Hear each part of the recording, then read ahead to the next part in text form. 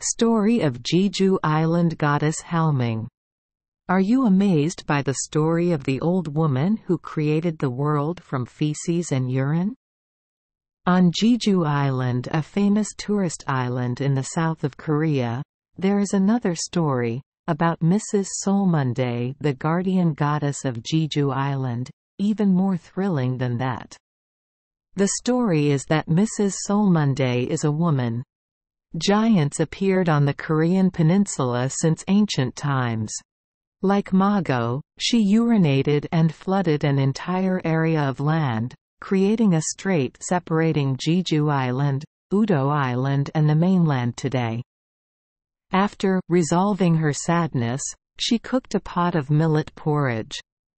The pot of porridge gave her diarrhea, and the flow of her feces created 360 hills and mountains on Jeju Island, as well as valleys and rivers. That's why she is considered the goddess of Jeju Island. She keeps walking around the island in a naked state like that, making Jeju Islanders feel embarrassed. They offered to make her a very large dress so she could fit. She agreed, and promised that if they finished sewing, she would build them a bridge connecting Jeju Island to the mainland. But she was so big that the people could not scrape all the island's resources. So the bridge promised to be forever unfinished, leaving behind ruins on the Chochon coast. Mrs. Solmundae Halmang's husband is Mr. Solmundae Halubang. One time two people took the test.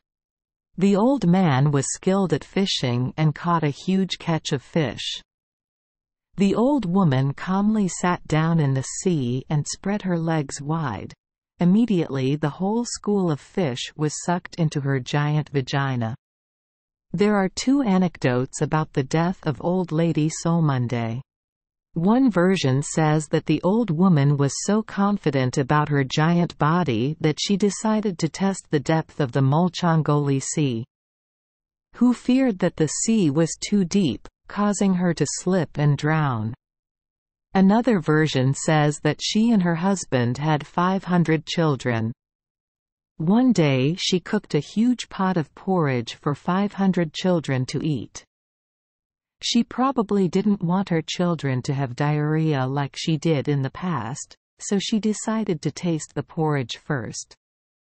Accidentally, Mrs. Solmundae slipped and fell into the pot of porridge and was cooked. The 500 children did not see their mother, so they just scooped up porridge to eat. When they discovered they had eaten their mother, they burst into tears and turned into 500 stone statues, which are still on the island today. Dot. Dot. Thank you for joining us for today's fairy tale. We hope these stories bring joy and meaning to your day. If you love our channel, please hit the subscribe button so you won't miss any exciting tales. Wishing you a good night and sweet dreams. See you in the next story.